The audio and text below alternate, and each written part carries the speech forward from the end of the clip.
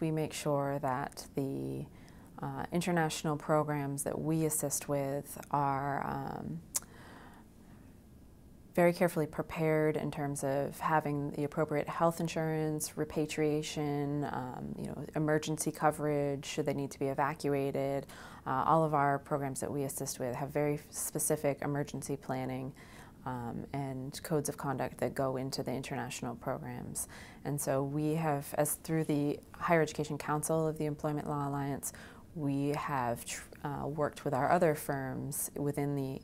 uh, Higher Education Council to sort of put together those best practices in terms of uh, getting people ready to go abroad.